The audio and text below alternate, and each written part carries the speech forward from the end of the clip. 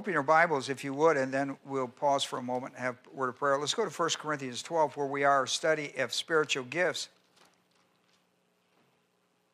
Uh, this year we've taken them from this passage, and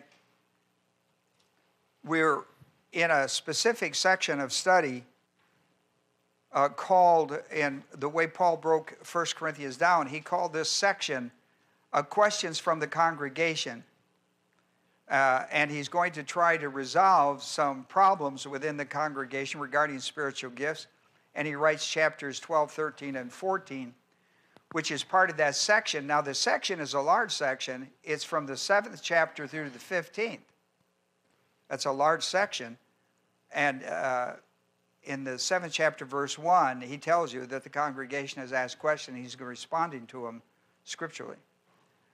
And this is really, uh, chapter 12 is a go to passage when people are having problems in the church with spiritual gifts. They don't understand them, they don't know how they function.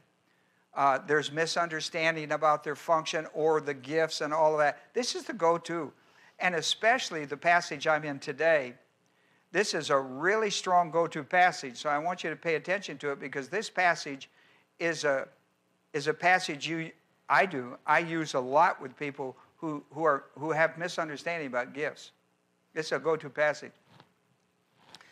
And uh, remember that Paul, in chapter 12 of 1 Corinthians, what chapter 12 is about is to show how the Godhead is involved in spiritual gifts. You remember that? He showed how uh, God the Father, God the Son, he called him the Lord, and the Holy Spirit are all involved in spiritual gifts, in the distribution, in their ministry, in their performance, in the overall picture of the plan of God. Now, what he did, he, he did that up here in verses 4, 5, and 6.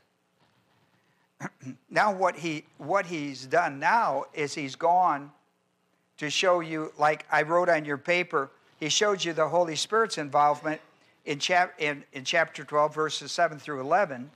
And today we're going to talk about the Lord's involvement, which, which he mentions in verse 5, is found in 12 through 17. And then next week we'll deal with God's involvement with spiritual gifts, which he mentions in verse 6 and is going to explain in verses 18 through 31. This passage today is really, is really now 12 through 17 will be important, so will 18 through 31 be very important because he, he really gets down to answer questions about misunderstanding of how the, fu- the in today's passage the function of them a mis- they didn't misunderstand the gifts they, under, they misunderstood the function and they were having problems because of that and he addresses it today here's what he says in our passage today verse 12 dealing with jesus christ and the body and ministries to the body. He says, For even as the body is one and yet has many members, and he uses a human analogy, and all the members of the body, though there are many, are one body, so also is Christ. In other words, the one body is Christ. And the way the, way the body is designed is by parts called members, parts, melos, parts. We have arms, we have ears, we have eyes, parts. He calls them members, the parts. And it takes all the parts, spiritual gifts. The parts are spiritual gifts. It takes all the spiritual gifts to form the one body, which is Christ.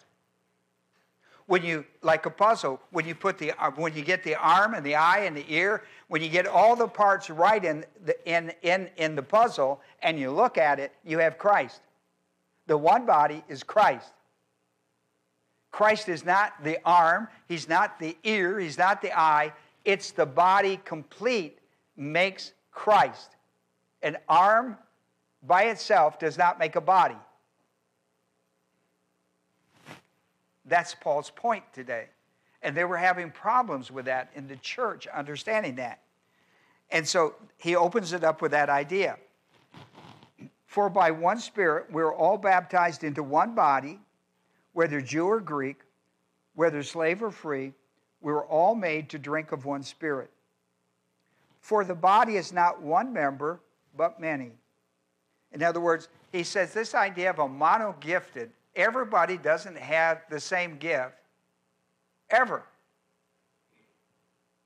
The, you can't, the body is not one eye, the body is not one ear. You can't have an ear or a whole collection of ears and call it a body. You have body parts. You don't have a body. Verse 15 says, If the foot should say, now that'd be kind of scary, but if the foot should say, Because I'm not a hand, I'm not part of the body. See, that was a problem they had. It is not for that reason any the less a part of the body. If the ear should say, because I'm not an eye, I'm not part of the body, it is for is, is it not for this reason any the less a part of the body? In other words, the foot is part of the body, even if it thinks that it's not as important as the hand or the ear to the eye. Doesn't matter what the ear feels like. If you're an ear, you're important to the body. Stop worrying about not being what you're not. Worry about what you are. You're an ear, and ears for hearing. Be comfortable with that. That's his point. Then he comes and he, he deals another issue. Now, I want you to pay attention because you can't see this. But in verse 15, the word if is spelled E A N.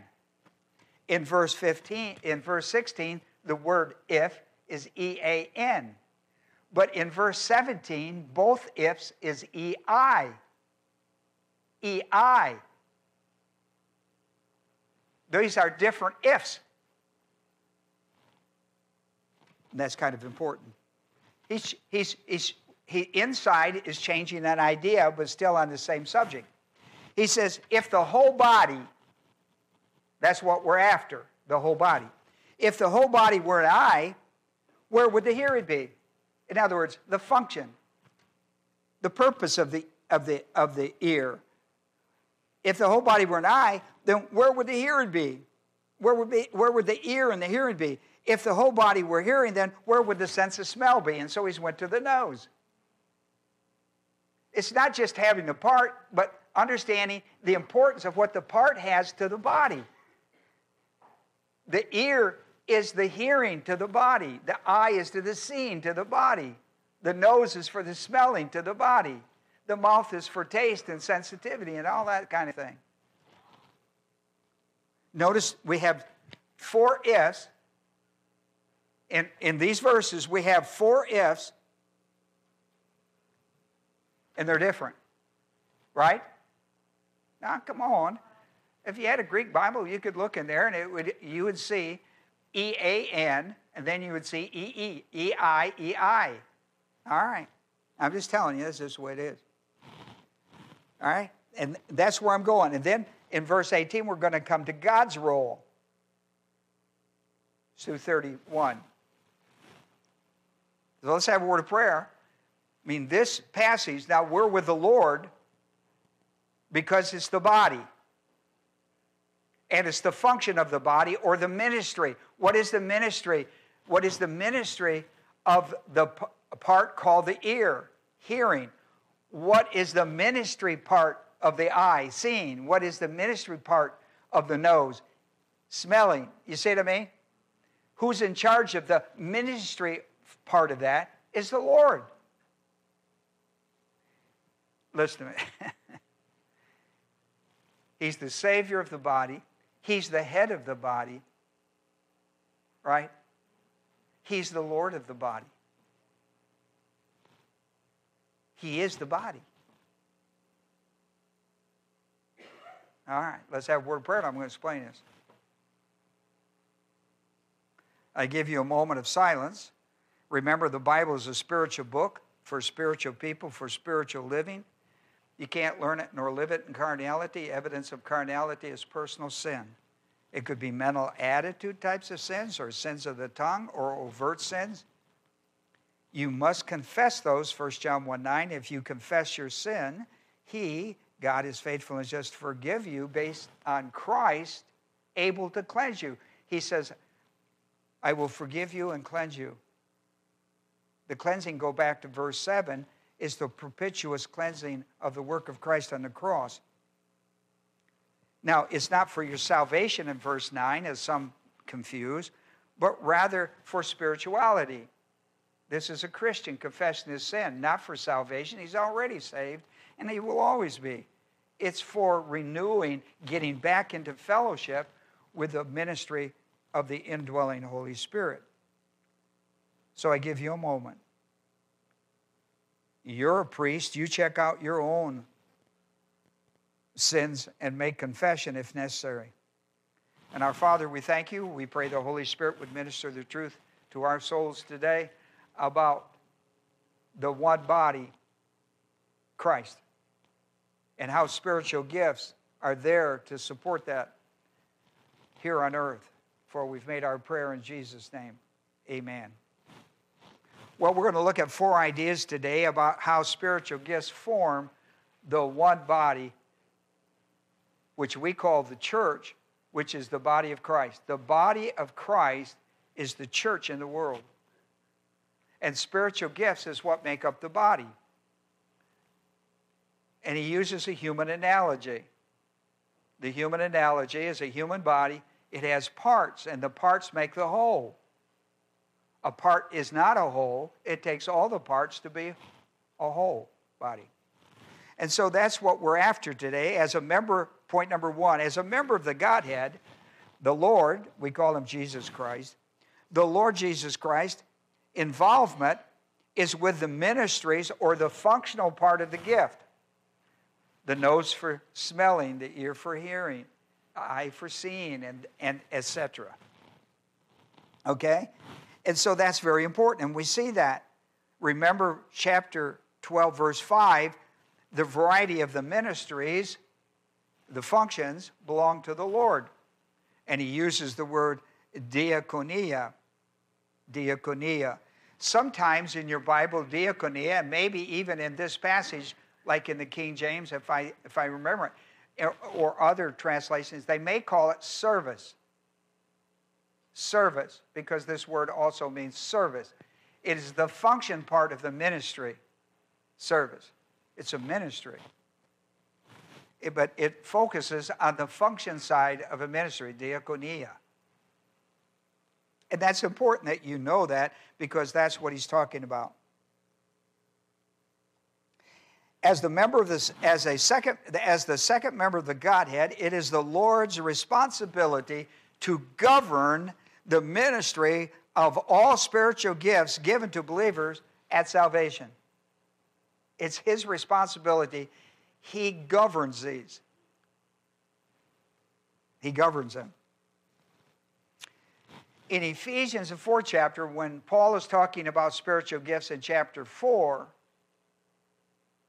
verses 4 through 16, he makes a big point. In verses 4, 5, and 6, he refers to the Godhead once again. And he goes beyond it.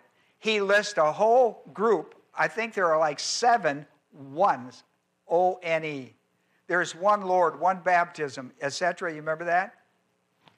Well, I want to focus on this out of Ephesians 4 4 through 16 for a moment on the one body and the one Lord, how they work with spiritual gifts. Paul talks about it in, in this passage in Ephesians. For example, in verse 7, he starts out by telling them, But to each one of us, grace was given according to the measure of Christ's gift. What is Christ's gift? It is salvation. At the moment of salvation, you get your gift because the Holy Spirit baptizes you into Christ and into the body. That's what 1 Corinthians 12 13 is going to teach us. For each one of us, grace was given according to the measure of Christ's gift. In other words, salvation and gifts. We are saved by Christ's gift and the measure that's given to us by grace. Your, your gift is a grace gift. It is an earned, deserved. You can't, you, whatever he gives, that's yours.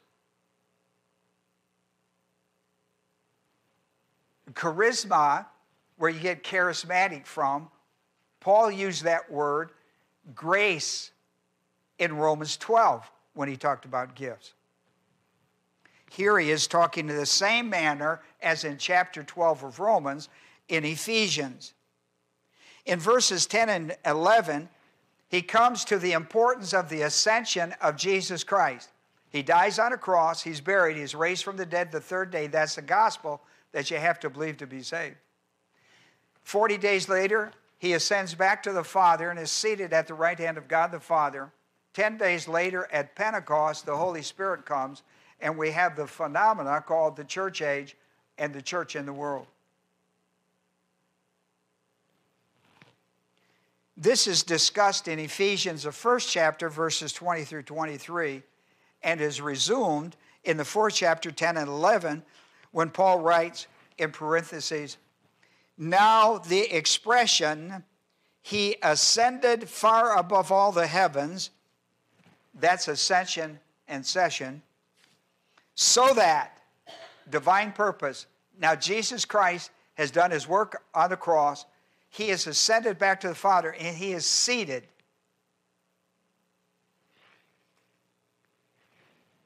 And here it is connected with spiritual gifts so that he might fill all things. Now, what it's about is the whole church. He's the head of the church and the Savior of the body and the Lord of it.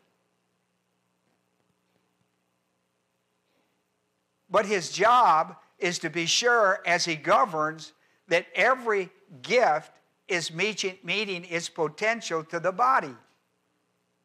What he wants is to govern a healthy body where each gift is functioning its maximum for the benefit of the body, which is Christ on earth, right? It, when the puzzle is done and you look at the picture, it's the picture of Jesus Christ.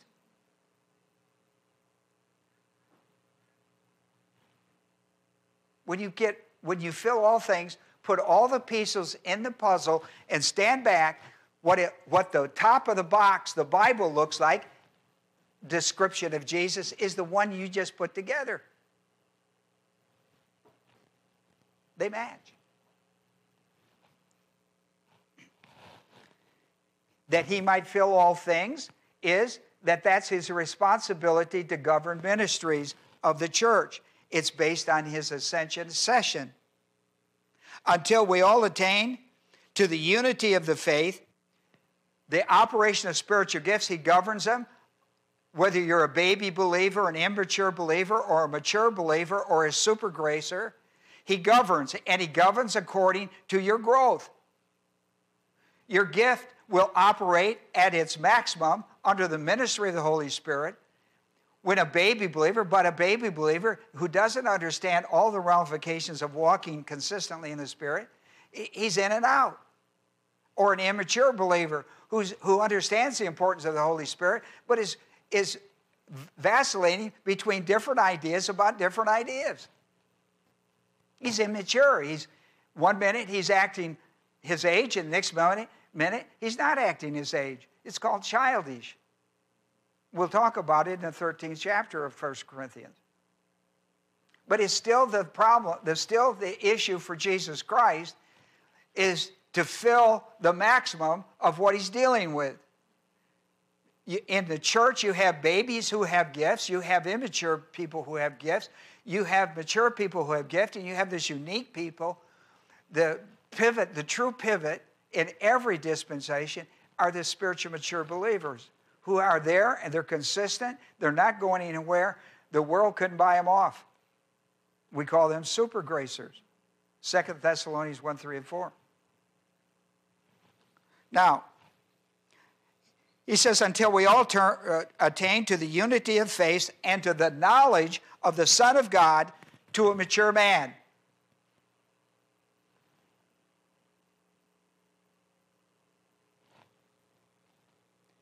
Then he comes back to the measure of the stature, stature which belongs to the fullness of Christ. See, to fill all things is to get you to the fullness of Christ. He's responsible for that. He's responsible for the function of the gifts and being sure that He governs how those gifts function in baby believers, immature believers, mature believers, and super gracers.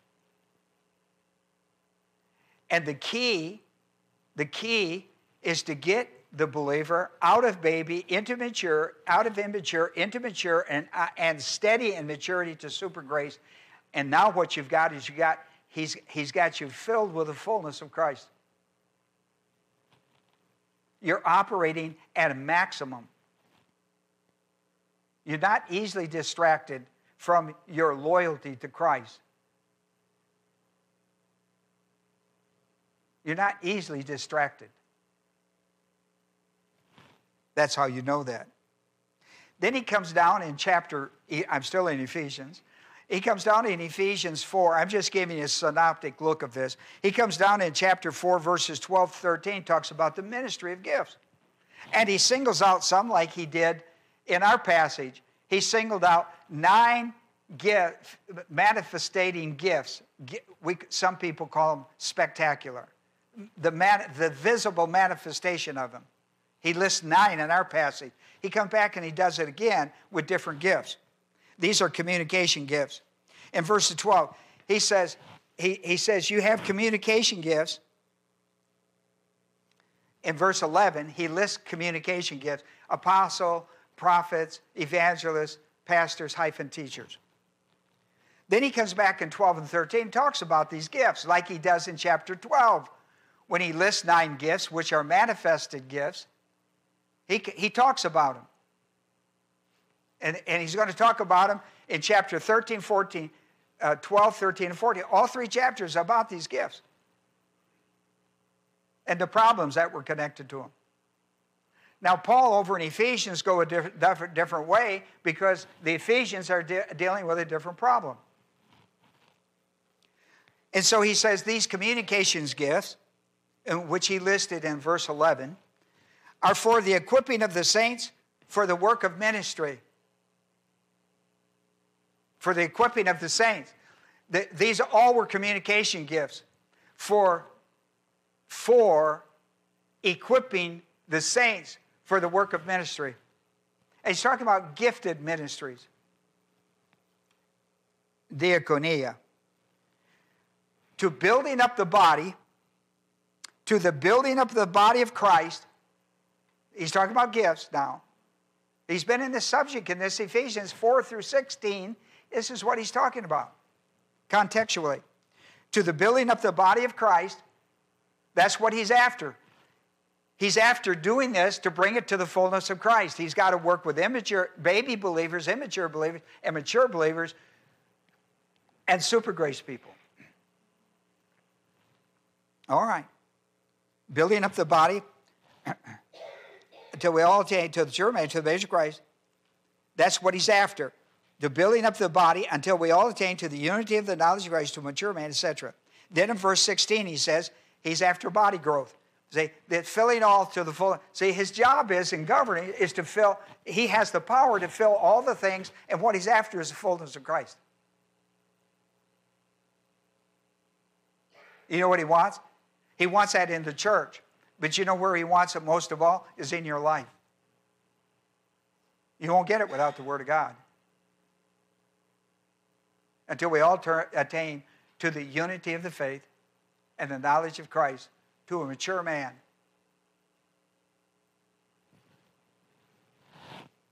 Now he talks about this in verse 16. From whom Christ, that's what he's talking, that's the person, from whom Christ, the whole body, being fitted and held together by whatever joint supplies, still talking about the body concept, according to the proper working of each individual part gift, causes the growth of the body of Christ for the edification or the building up of itself in love. He says there's two things in the fullness of the the fullness of Christ and the love of God are manifested. He said, You're so crazy about manifested gifts. S- listen, settle back. All of them are for one manifestation that is the fullness of Christ and the love of God. You're getting hung up on a gift. You ought to get hung up on the gift is for the body to reach the full manifestation of Christ and the love of God. A healthy church is one that has reached some maturity, has taken responsibility with that because of maturity, and is able to manifest this in his life. And as the parts are manifested, this is what it comes to. This is why we teach the way we teach. I am told in Ephesians 4:11 that I have this gift. If I have that gift, I have this kind of responsibility. I'm driven by that responsibility. I'm driven by that responsibility as Jesus is driven by his responsibility, seated at the right hand of God the Father to govern the gifts and the growth of the church. I'm driven by it. I, I don't have choices in this. I have a choice not to do it or to do it, but if I'm going to pastor or if I'm going to teach, I've got to do that. If I teach, that's one thing. If I pastor teach, I'm locked into that idea. Many of you don't understand that about me. But I can't help that.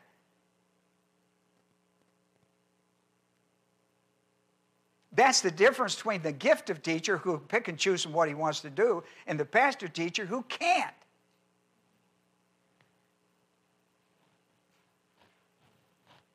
You're always driven by Christ in governing the growth. I don't have power over the over your gift. That only that the Holy Spirit has power over your gift, but my power is governing like Christ commands me.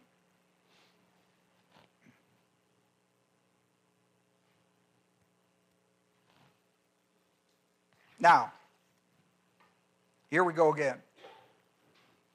How does a person become a member of the church, the body of Christ, with a spiritual gifted ministry in the body of Christ? How does a person become a member with a spiritually gifted ministry in the church?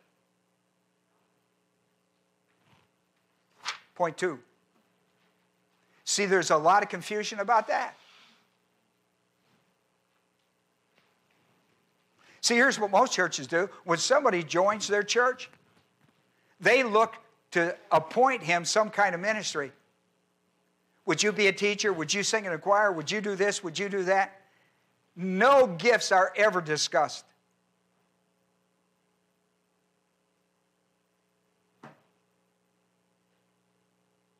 You ever had a pastor ask you what your gift is? If you if you're around here, you do. I ask you all the time.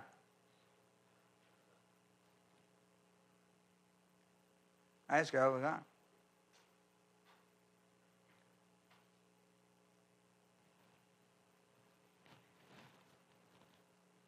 Don't you think it would be important to know whether the person's an eye and ear or nose or what he is? Nobody gives that. Well, if you want to become a member of this church, listen, listen. How does a person become a member of the Church of Jesus Christ? That's the bigger question. And here's the answer in point two. Spiritually gifted ministries are given with the baptism of the Holy Spirit at the moment of grace salvation by means of the gospel of Jesus Christ. Once again, on the top of your paper, I, there's enough room for you to write the symbol of the gospel. You put a cross, remember, draw a cross, draw a line down to burial. That's death of Christ on the cross. Draw a line beneath the cross, draw it slanted to burial, and then go straight up and put a hook, put an arrow on it for the resurrection. Death, burial, and resurrection is the gospel. 1 Corinthians 15, 3 and 4 tells you that Christ died according to our sins according to the scriptures, that he was buried and raised from the dead according to the scriptures. That's Old Testament, by the way. New Testament hadn't been written, it was in the process when he said that. Romans 1:16 says that the gospel, death, burial, and resurrection of Christ, that the gospel is the power of God unto salvation to everyone who believes. Ephesians 2, 8, 9 says, For by grace are you saved through faith, and not of yourself. It is a gift of God, not of works, lest any man boast. They, all the boast goes to God and Christ, doesn't it? Now, the moment you believe the gospel of Jesus Christ, you receive a spiritual gift. It's one of the eight works of the Holy Spirit. It's salvation under the new covenant. We're, ch- we're church age. We're new covenant. Whether you know it or not, we're new covenant. And the moment you believe the gospel of Jesus Christ, you receive eight works of the Holy Spirit. You can find that in our pamphlet, 50 Things You Can Never Lose in Time and Eternity. One of those is to give you a spiritual gift. The Holy Spirit distributes you a gift at the point of salvation. He regenerates you, and He baptizes you into Christ. Now, at the at right where the bottom at the bottom of the cross, put a put a little dot there, and draw a line out from it, and put a circle. And on that line, up to that circle, put the baptism of the Holy Spirit. You can put BHS. It'll be all right. The baptism, the moment you believe the gospel of Jesus Christ, you are baptized. That circle up there put in Christ. You are baptized into Christ. Let me show it to you. And what, next to that top circle, I want you to write Galatians 3:27. I'm going to pound this until you learn it. I'm going to pound it until you learn it. And as soon as you learn it, you'll start teaching it, and we'll both be happy. Verse 27 For all of you, not some of you, all of you who were baptized into Christ have clothed yourself with Christ. Baptized into Christ baptized into Christ. Clothed with Christ has 20 status privileges. That's positional sanctification. That's positional sanctification. I got it at the point of salvation. I was baptized. I was baptized into Christ by the Holy Spirit. I didn't do anything to deserve it. I believe the gospel in Christ because I live under, under, in the church age under the new covenant. This is the way it works.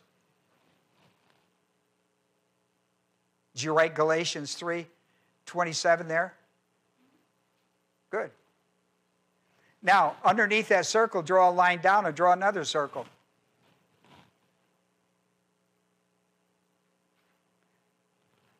And that's in the body.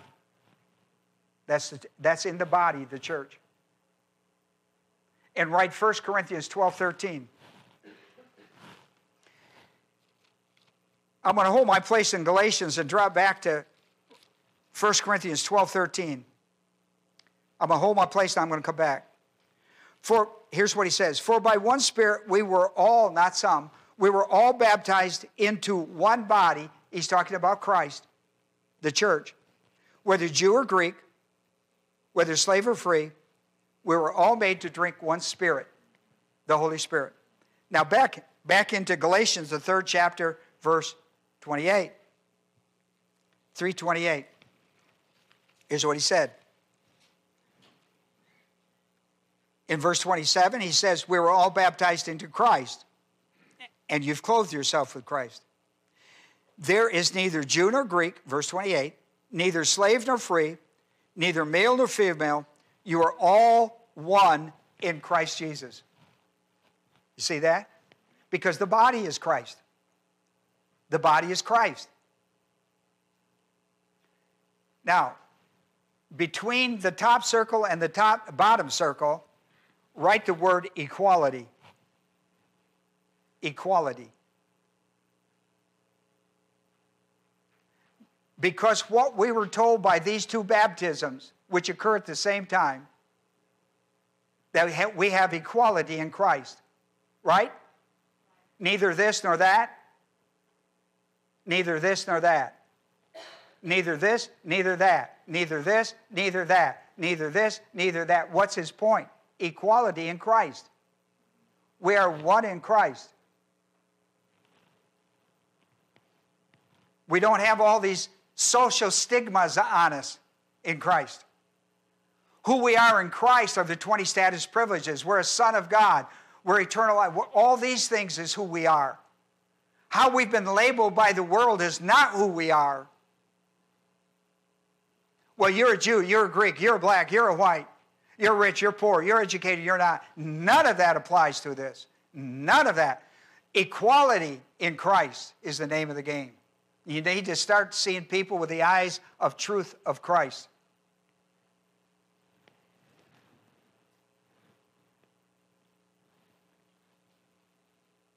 If they believe the gospel of Jesus Christ, they're in Christ. If they're in Christ, they're in the church, right?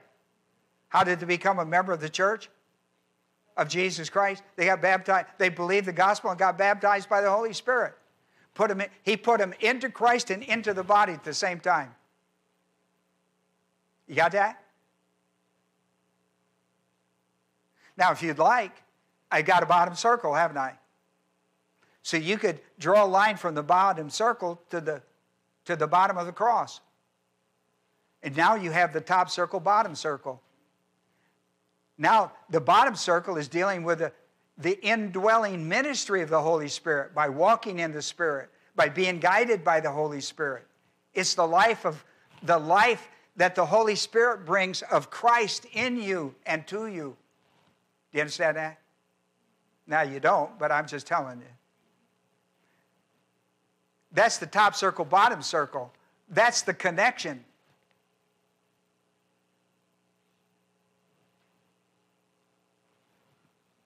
You know what that you know what that entire thing's about? Starting with the cross, going to Christ, going to the church. You know what that whole that whole uh, upper body, you know what that whole deal is? That whole symbol we just did, you know what that is? Grace. The grace of God.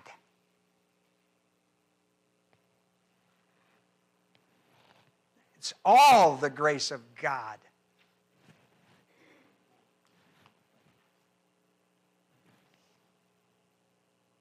You see, you're a member of the Church of Jesus Christ. You joined it when you believe the gospel of Jesus Christ. You're in it, whether you want to go to it or not. It's part of the package deal. and it's all grace. My, my, my. And it's all grace. This is Paul's argument. Paul made it in Romans, but Paul made it in Ephesians. Paul made it in Corinthians. This is Paul's argument. He made it everywhere he talks about gifts, he talks about them this way. These are the great passages Ephesians 4, Romans 12, 1 Corinthians 12, 12, 13, 14. These are the great passages on it. Now, there are other passages like 1 Peter 4 and other places mention them, but nowhere like this. I mean, he just, he gets in it. And, and we're benefited from it, certainly. So we see that the baptism of the Holy Spirit, which is one of the eight works of the Holy Spirit, is important. And the baptism of the Holy Spirit puts us into Christ, puts us into the body of Christ. We also see that the distribution of the spiritual gift is another work of the Holy Spirit, where at the point of salvation, he, distri- he, he distributes. 1 Corinthians 12 11 says he distributes the gift. That's his, that's his deal. His deal is to give it to you and then cause cause you to understand that it functions under the ministry of the Holy Spirit. Listen, on your best day, the Holy Spirit will never work in the flesh. It always works in the power of the Holy Spirit. Unbelievers don't, don't get these gifts and can't do them. These are supernatural abilities, not natural. People make that confusion. The Holy Spirit baptizes the church age believers, the cab, church age believers into Christ and into the body of Christ at salvation. I pointed that out. I also pointed it out on your paper that both times it's referred to as an, uh, uh, an aorist passive indicative. At the point of salvation, it is the work of the Holy Spirit and into Christ. You're into Christ on the one hand and into the body of Christ on the other hand. This is really important. In the Greek language, those are, those, that, that grammar is really important to you. Therefore, Jesus is the Savior of the body, its head, and He's the Lord. Point number four. In 1 Corinthians 12, 12 through 17, Paul used two unique conditional clauses. He used the EAN, which is a third class condition, in verses 15 and 16, and he used an EI if, a first class condition, a third class condition, maybe, maybe yeah, maybe no, maybe this, maybe that, probability, possibility. The EI says this is, if this is true, then this is true. All right. Now, he's going to use both of these in the most unique ways with two different ideas about gifts. And I don't want you to miss this. He's going to answer the congregation's questions regarding spiritually gifted ministries, and he's going to tell them in a nice pastoral way that their ideas are absurd.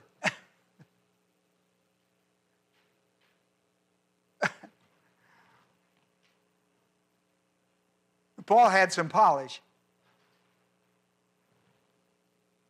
In verse 15 and 16, he used the EAN if third class condition. He said, if the foot should say, now we know a foot can't talk, and if it does, it would scare us to death. We only see it in cartoons that we feel comfortable about it. If we went to, an, if we went to a hospital and we had, it would scare us. Would think it was a zombie hospital or something. If the foot should say, I am not a hand, then am, am I not part of the body of Christ? See, it's absurd. Under any condition, it's absurd. It's absurd that a foot could say, but what's more absurd is what the foot was saying.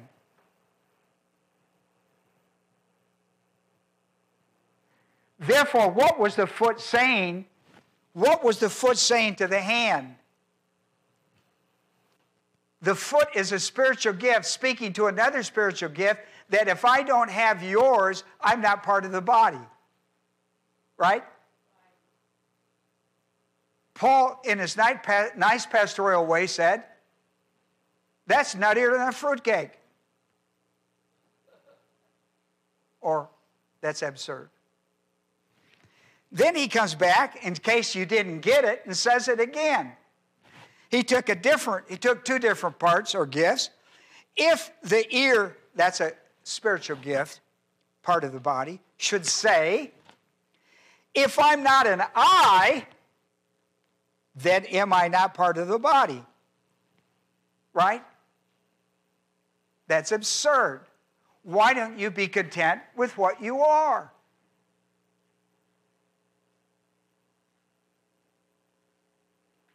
And let that ministry be spectacular. That is absurd. Would you agree with that? Not that the foot could speak to the hand, or what was it, the eye, or the ear to the eye. That's not what is absurd. Listen to me. It's what they were saying that if I didn't have this gift, I know I got this gift, but I want that gift, then I think that gift's more important. I'm probably not part of the body of Christ. That's absurd, is his point.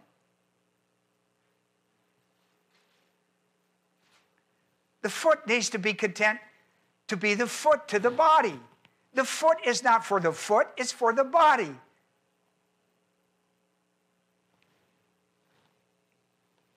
The ear is not for itself, it's for the body. It's to give hearing to the whole body. Well, I want to be, I want to be sight. Look, why aren't you content with what God's done for you in grace? You can't change this. They're not exchangeable. These you can't do that.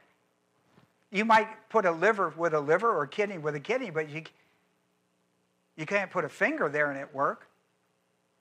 Well, I think I'll have a transplant today instead of I need a, a, a new kidney, but I think I'll just put I think I'll just take a I don't need my big thumb. I think I'll take my big thumb and, thumb and use it. Well, that's crazy. Can't do that.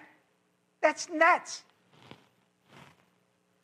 See, that's the way I would respond, but he was more pastoral than I am. He's a little more polished with it. He said, That's absurd. In the Greek language, he says, That's, that's absurd. Then he comes to the if. In verse 17, he puts two EIs. He said, If the whole body were an eye, if that was true, it isn't.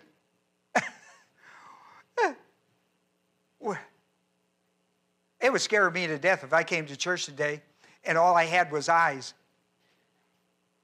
It's bad enough that you have as many as you have, but that'd freak me out.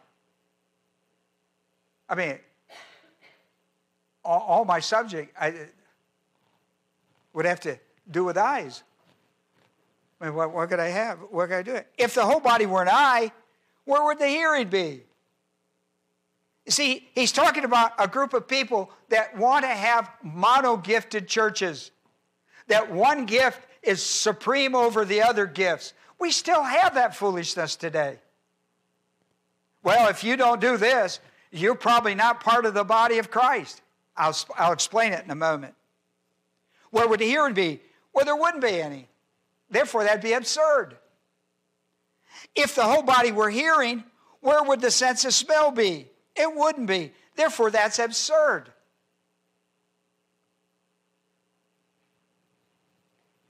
Your gift has been chosen for you.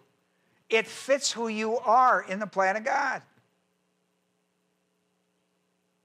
Your only responsibility is find out what it is and then work let that let the Holy Spirit work that gift in you by you walking in the power of the Holy Spirit. Galatians 5:16. Paul is saying that holding such views regarding spiritual gifts is absurd. Making the body of Christ mono gifted is absurd.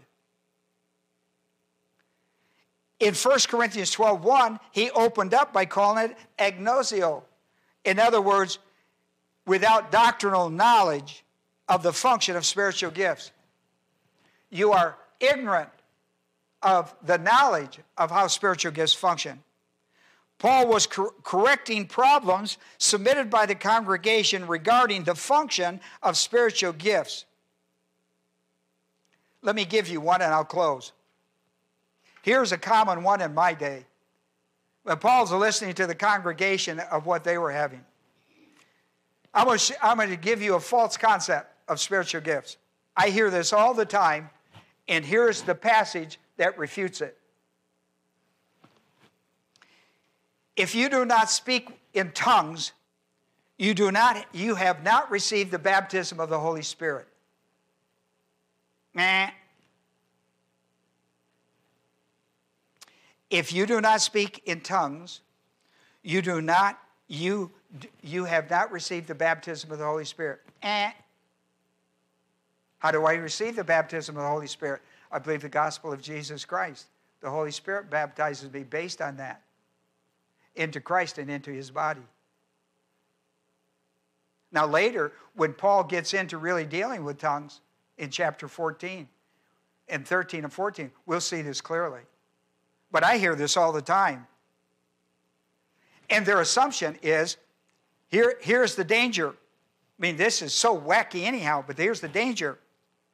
If you do not speak in tongues, then you do not, then you have not received the baptism of the Holy Spirit then the, then the conclusion is if you do not have the baptism of the Holy Spirit, then you are not part of the body of Christ. You understand how dangerous that is? And you know what refutes that? The passage I just taught you.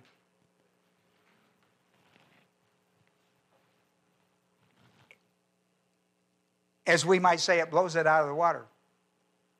It takes it out of the discussion because that is absurd. Well, let's have a word of prayer and we'll take a 15 minute break and we'll come back and do the Eucharist. The Eucharist.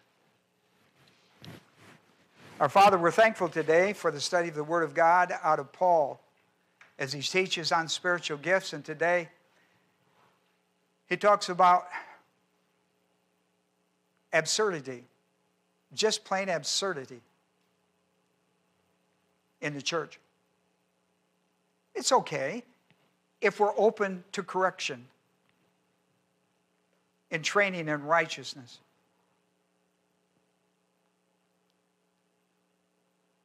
Where we can find profit for going to church and growing.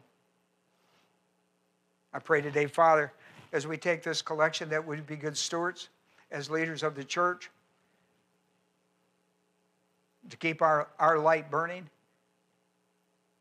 with the, the least cost we can to reach the maximum amount of people that need to hear the gospel and need to have spiritual growth momentum in their life. Encourage our hearts, Father, to be truthful to that in Jesus' name. Amen.